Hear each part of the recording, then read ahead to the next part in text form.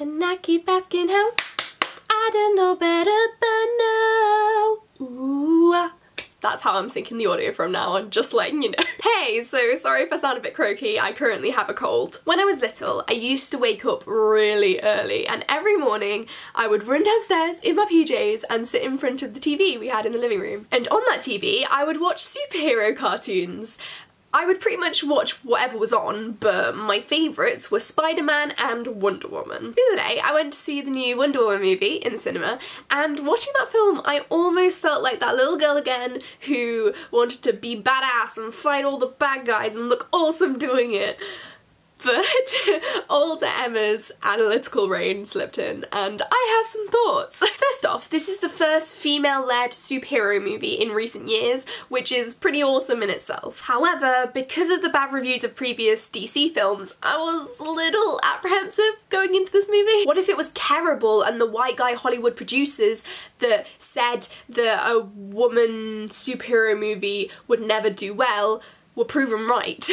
what if they thought that the reason it had done badly was because it was fronted by and directed by a woman. Which of course would be ridiculous, like so many movies that are led by and directed by men do badly and then they don't blame the entire male gender for that. Luckily, I really enjoyed it and it was definitely above average as a superhero movie, but as a movie with a female lead, it went above and beyond my expectations. I personally loved all the connections to Greek mythology because I was a Percy Jackson kid, so anything that has connections to Zeus and the Amazons and all the gods just makes me very happy. I liked how it was love that saved the day and that it was Diana's emotions that gave her the power in the end. Sometimes, in order for a female character to be strong, she is expected to fit all the expectations that are normally attached to masculinity, so she must have no weaknesses, especially not emotional ones. And when female characters do have weaknesses, they tend to be that they are too emotional or too sensitive. For Diana, her emotion and sensitivity led to her heroism, and I thought that was wonderful.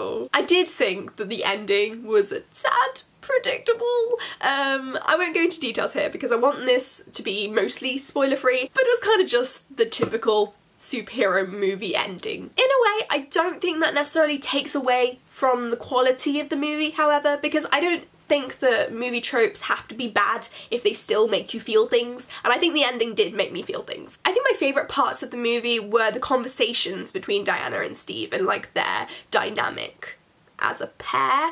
Um, that tends to be the case with me in superhero movies. I like the quiet moments that focus on character development or just fun dialogue rather than the like fight scenes, though I do also enjoy those. There was a particular moment on a boat uh, where I think Diana's bisexuality was hinted at, and even though it could have been more explicit, I'll take what I can get. I also really enjoyed the first part of the movie with the Amazons. I love the Amazons. The actors were diverse in terms of race. Obviously they were all female. They were badass and the whole island was vibrant and beautiful and it didn't suffer from the superhero movie thing where everything is grey and dull and gross.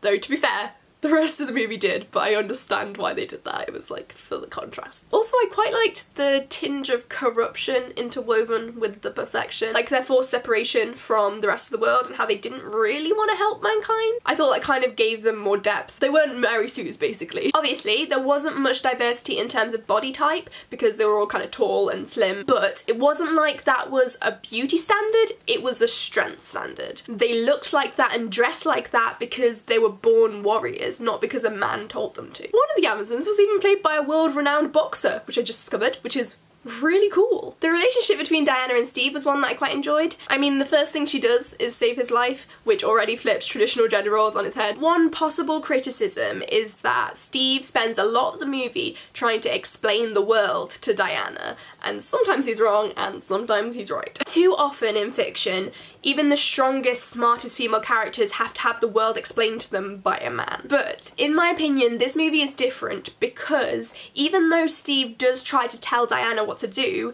he is proven completely wrong in a quite tragic, pivotal scene later in the film. And she calls him out for it too, it's not at all brushed over. Also, not that I counted, but I'm pretty sure this film passes the Bechdel test within like the first act of the movie, though the rest of the movie is a little rustier in this area. My main issue was that even in a female-led movie about a woman who grew up surrounded exclusively by women, her team in the end was still made up of all men and one woman. They definitely did have some diversity in there in terms of race and culture, background and ability, and they didn't shy away from pointing that out. With one of the guys even saying that he wanted to be an actor, but he couldn't because of the colour of his skin. That's a pretty hefty statement in a movie made by DC, which mostly casts white actors. But this film was different, and I did appreciate that. I just would have appreciated an actual normal human woman who had useful skills. Because I loved the secretary, loved Etta Candy,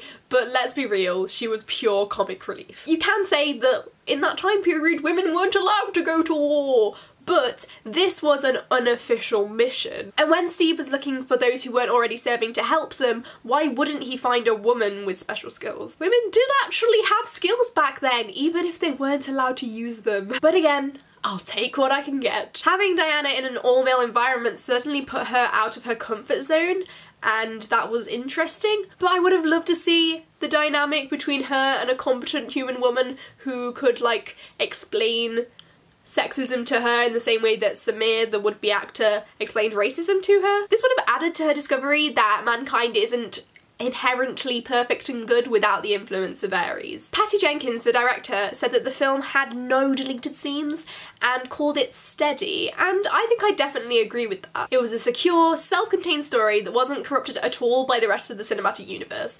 This was actually the first DC film I've ever seen, and it didn't matter. I enjoyed it just as much. It reminded me of Captain America the First Avenger in a way, but it also felt like it had so much more gravity to it. I don't know if it was how it was shot, the plot, or just because it was hopefully a pioneer for future female-led superhero movies to come. I would happily watch a Wonder Woman 2, and I think this might be one of those movies that I actually buy on DVD. I know, I'm so old-fashioned, but I just enjoyed it that much. Little Emma would have adored this movie, and current Emma enjoys it too.